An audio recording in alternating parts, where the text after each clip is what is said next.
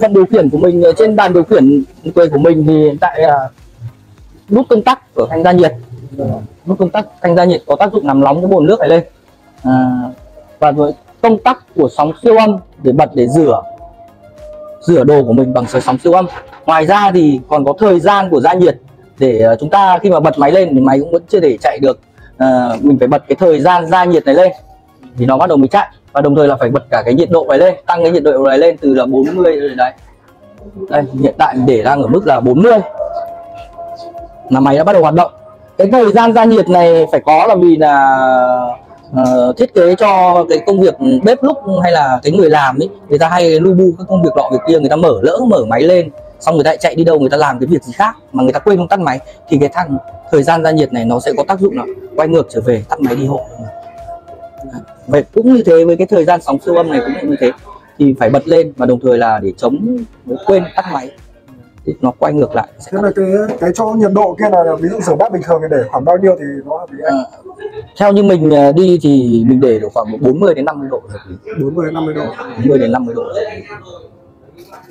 và cái thời gian bên này là phụ thuộc vào cái thời gian rửa mình ước lượng được đúng không? đúng rồi. À, mình ước mình cứ vặn lên như thế thôi. À, mình mà rửa mà nó tắt đi thì mình lại tự vặn lên hoặc là mình rửa mà xong rồi mà nó chưa có hết cái thời gian đấy thì mình vẫn có thể quay ngược trở về mình tắt đi. Chứ không nhất thiết là mình phải cứ phải dùng hết cái thời gian đấy chờ nó tắt đi không. Mình vẫn bật lên và tắt đi được. Tức là cái thời cái cái gia nhiệt này là cứ lúc nào mình rửa là mình bật cái gia nhiệt này đúng không? Hay là đúng rồi đúng rồi. Cái ờ, khi mà mình rửa thì bây giờ hiện tại là sóng của mình nó chia ra hai nguồn công suất. Tổng công suất máy là 5.700 thì cái bộ phận gia nhiệt này nó rơi vào khoảng 3.500 bộ phận ờ, còn lại là về bên là công suất của sóng siêu âm thì mình bây giờ mình muốn rửa cái đồ mình nó sạch thì phải có một chút về nước nóng. Thì mình xả nước vào bồn trước mình bật gia nhiệt lên trước cho cái nhiệt độ nó đạt cái độ để mình rửa. Thì mình mới bỏ đồ của mình vào. Bỏ đồ mình vào thì mình bắt đầu mới bật sóng siêu âm lên trong quá trình mình ờ, rửa nếu mà nước nó mình cảm thấy nó đủ rồi thì mình cũng có thể tắt gia nhiệt đi để cho nó đỡ tốn lượng điện của mình phải đun cái nước đấy mà. Đấy. Thế nhưng mà làm nào để biết là nó nó đã đủ nhiệt rồi? Ừm, nếu như mà nó đủ nhiệt rồi thì với cái 4 50 độ này mình đặt như thế này thì nó cũng sẽ tự ngắt. Tự cái nhiệt độ ở trong bồn này nó cũng sẽ tự ngắt nếu mà nó đạt được 4 50 độ đấy. Vâng. nó sẽ có cái cái cái cái phần nhiệt độ này nó cảm biến con nhiệt độ này nó sẽ tự ngắt đi. À, đấy. Ví dụ như trong trường hợp các cô này muốn muốn rửa muốn nhanh lên thì cho hẳn vặn ngược nó lên đến tận trăm độ chẳng hạn để cho nó thốc quá trình đun nước sôi nó nhanh lên thì nó sẽ tốn điện. Đấy. Đấy, nó nó nhanh lên. độ càng cao Đưa nó sẽ điện. đun và nó sẽ đun nhanh hơn lên nữa. Đấy. Xong rồi nhưng mà theo nhưng mình thông thường thì bật cái này lên khoảng bao nhiêu lâu sau thì mình có thể rửa được vào trong này? Theo như mình thì chỉ trong vòng 10 phút thôi. Mới cả tùy theo cái lượng nước mình à, mình mình đổ nó nhiều hay ít nữa. Vâng.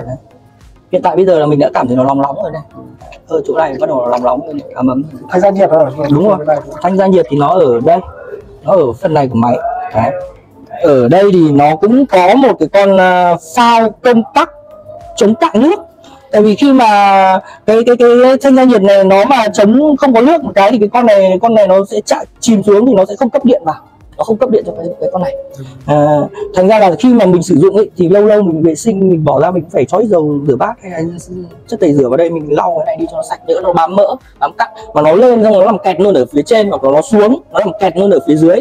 Nếu mà nó làm kẹt luôn ở phía trên thì tự dưng là không có nước mà mình bật lên thì nó vẫn điện nó cấp này nó sẽ cháy con này